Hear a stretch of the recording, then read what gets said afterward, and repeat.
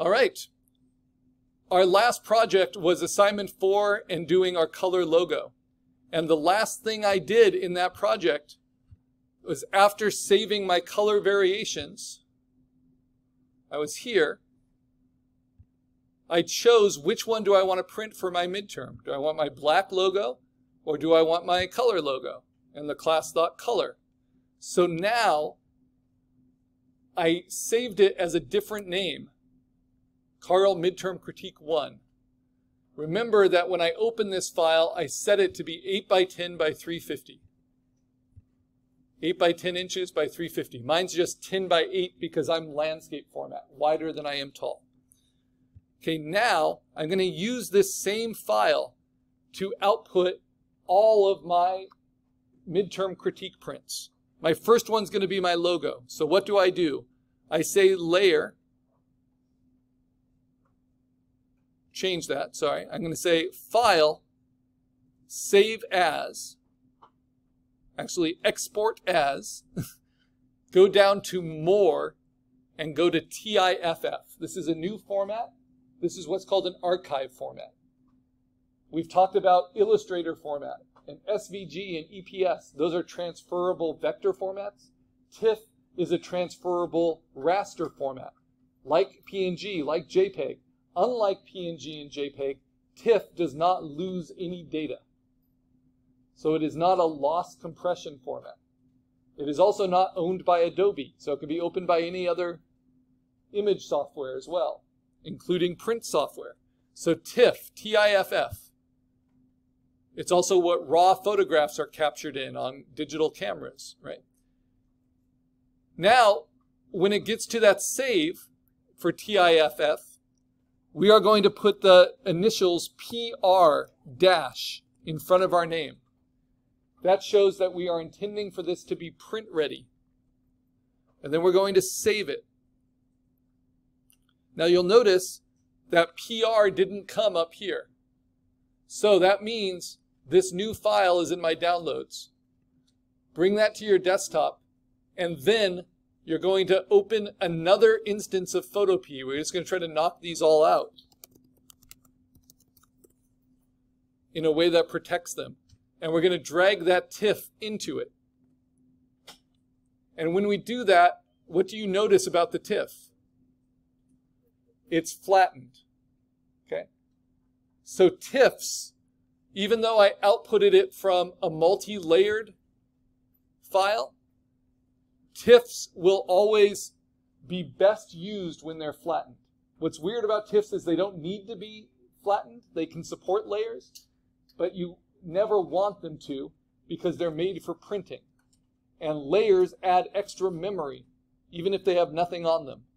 And why don't you want extra memory when you're printing? It's because the printer has to spool the data and it can buffer and stop, you know, if there's too much data for it, which is also why you don't want to print something 8 by 10 by 1600 pixels per inch. Instead, you, you stick to the, the regular parameters so that the printer runs quickly and smoothly so the inks don't dry at different rates because the printhead keeps stopping for buffering.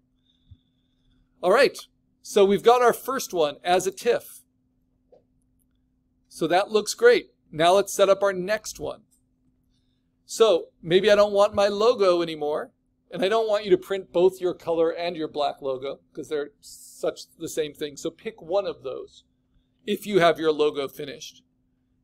And then otherwise, what are some of the other ones I might want to do? Well, exercise one, I had this jumble. Yeah, it was all right. Exercise two, I liked my little guy with the monocle. So what's my best one? Maybe I want to do that.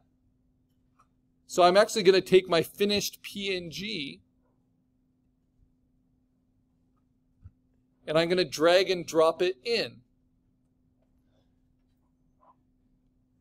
and move it above my white background, right?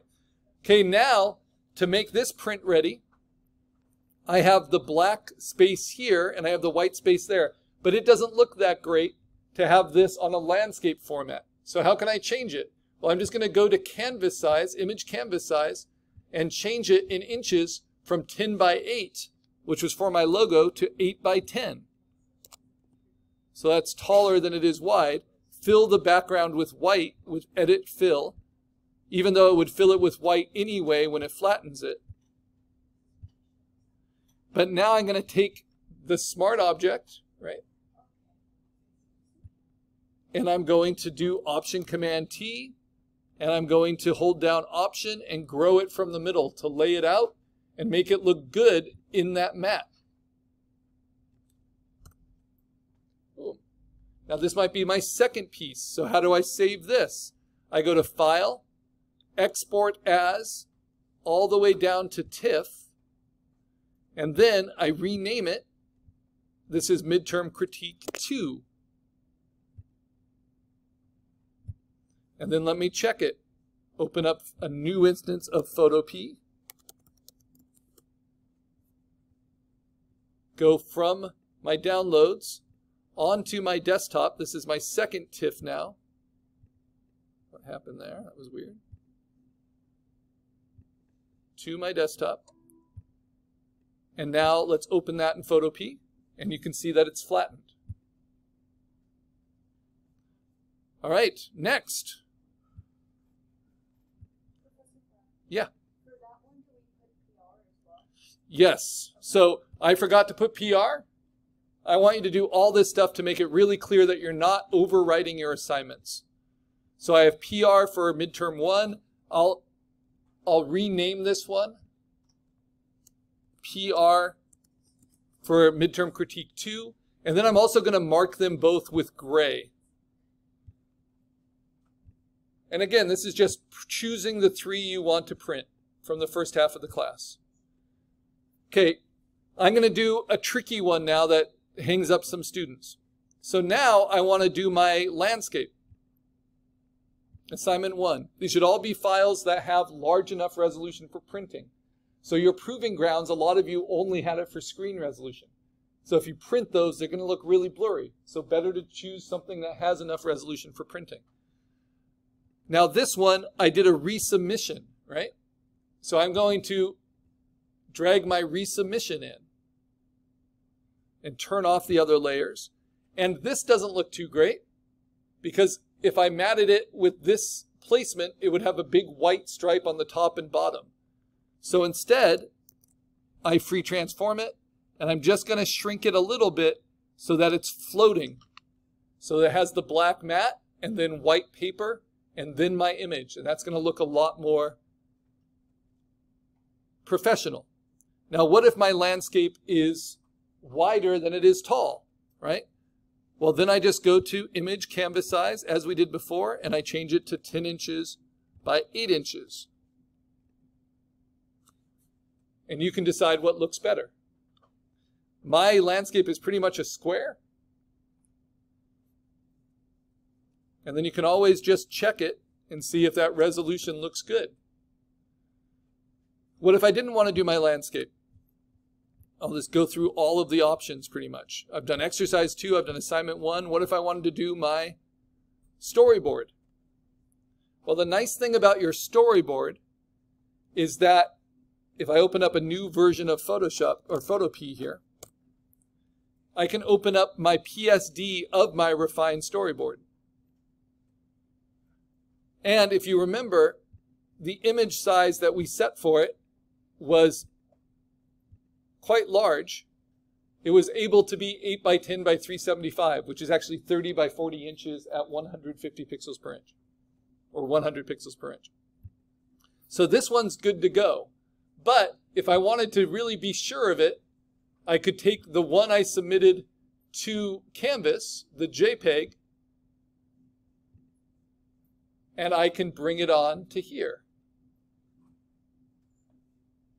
So there's my JPEG. And then when you save the JPEG as a TIFF, you are getting rid of all the loss compression formatting. So I'm going to now change this canvas size to be 8 by 10, taller than it is wide. And then I can take this smart object and Option Command T, free transform it, and I can fit it on without going too close to the edge, because remember, there's a half inch difference. So basically, it's formatted already to work perfectly for an 8 by 10 If you wanted to print your animation, you would print it with your refined storyboard. And then you save that, export it as a TIFF, and you change the name and you put PR in front of it to the desktop. Okay, the last thing I got to show you about making your stuff print ready, once you have three of them, is where to put them. Okay, so now I can close Photopea. I can get this latest one from my downloads to my desktop. And then I can organize them all together. And then I can also mark with, let's do red, the PSD that I use to output all of these out of Photopea. And now I'm going to organize all my files and put them into my midterm critique prints file. So these three, they are all flattened, all high resolution, all made for printing at 8 by 10 pixels per inch. Some of them were made with vectors, some of them were made with just raster files. But they're all at the right resolution for printing. Now, this is the part you really have to pay attention to. This is new. In order to print them, we need to put them into our dedicated print file for the, the studio. So this is not your own Dropbox account. This is the Dropbox account that you'll find linked under links. So I'm going to I'm going to pause the video because I don't want this public, right? Click on links and then navigate. And then when I restart the video, we'll be in Dropbox. Mm-hmm. Now we have all of our midterm critique prints as TIFFs saved into a folder. We go to our Dropbox folder. You find your folder under flattened TIFF. So let let me go to the very beginning here. You first click on digital art class files, then you click on flattened TIFF files to print. You might find this kind of stacked order a little bit easier. And then within that, you'll find your particular folder. So I'll just pick one here. Because you haven't added any files to print yet, it's going to look like this. You're just going to drag and drop all of them in.